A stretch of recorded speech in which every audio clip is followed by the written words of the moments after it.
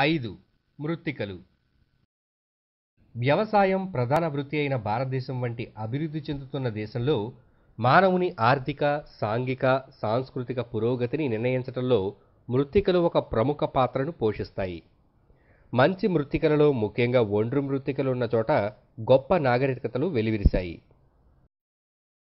ఆ విధంగా పయనం లవణాలు కుళ్ళిన జీవ సంబంధ పదార్థాలు సరైన కలయిక గల మృత్తికలు వ్యవసాయదారులకు దేశ ఆర్థిక వ్యవస్థకు మంచి ఫలితాలనిచ్చాయి. మృత్తికల రకాలు విస్తరణ. భారతదేశంలో మృత్తికలను సులభ వర్గీకరణ ప్రకారం నాలుగు ప్రధాన రకాలుగా విభజించవచ్చు. అవి ఒండ్రు మృత్తికలు నల్లరేగడి మృత్తికలు ఎర్ర మృత్తికలు లాటరైట్ మృత్తికలు ఇవిగాక పర్వత మృత్తికలు ఎడారి మృత్తికలు కూడా ఉన్నాయి.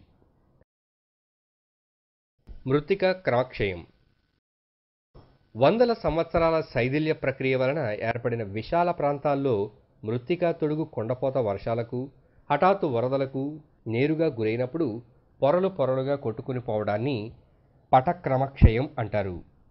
ఇది ఇలాగే కొనసాగితే మృతికల్లో చేతివేళ్ళు ఆకారంలో అనేక గాడులు ఏర్పడతాయి. ఇటువంటి క్రమక్షయాన్ని వంక క్రమక్షయం అంటారు. క్రమక్షయం ఇంకా కొనసాగితే వంకలు లోతై పెద్దవై అవనాళికలు ఏర్పడతాయి. దీనిని అవనాళిక క్రమక్షయం అంటారు. అధిక వర్షపాత ప్రాంతాలైన శివాలిక్ కొండలు పశ్చిమ మరియు తూర్పు కనుమలు అస్సాం ద్వీపకల్పంలోని ఈశాన్య ప్రాంతాల్లో పటక్రమక్షయం సర్వసాధారణం.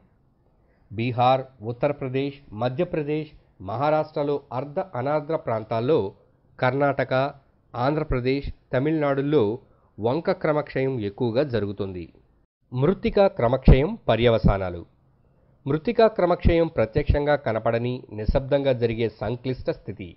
క్రమేపీ ఇది తీవ్రాతి తీవ్రమైన మానవ నిర్మిత ముప్పుగా మారి తీవ్రమైన సాంఘిక ఆర్థిక పరిణామాలకు దారితీస్తుంది. మృత్తికా క్రమక్షయం వలన ముఖ్యంగా రెండు పరిణామాలు ఎడారిగా మారటం ప్రధాన జలాశయాల్లో అధికంగా పూడిక చేరటం సంభవిస్తాయి. మృత్తికా క్రమక్షయం భూగోళమంతటా జరుగుతున్నప్పటికీ దీనివల్ల అధ్వాన స్థితి ఏర్పడిన దేశాల్లో భారతదేశం ఒకటి. మృత్తికా సంరక్షణ లేదా పరిరక్షణ. మృత్తికలను క్రమక్షయం నుంచి రక్షించి ముందు జాగ్రత్తతో కాపాడడానికి దోహదం చేసే అన్ని పద్ధతులు మృతిక పరిరక్షణలోకి వస్తాయి. కాంటూర్ బండింగ్ వేదికల నిర్మాణం అవనాడికలకు కట్టలు నిర్మించటం ఫర్రోయింగ్ సన్నని పొడవైన భూభాగాలలో పంటలు పండించడం ఎగుడు దిగుడు భూములను సమతలం చేయటం నిట్రవాలులో గడ్డి ఇతర ఉద్భిజ్జాలు పెంచుట చెక్ డ్యాంలు మళ్ళింపు మార్గాలను నిర్మించుట వనీకరణ పశువులను మేపడాన్ని నియంత్రించుట మొదలైన చిన్న పెద్ద పథకాలు మృత్తికా పరిరక్షణ పద్ధతుల్లోకి వస్తాయి.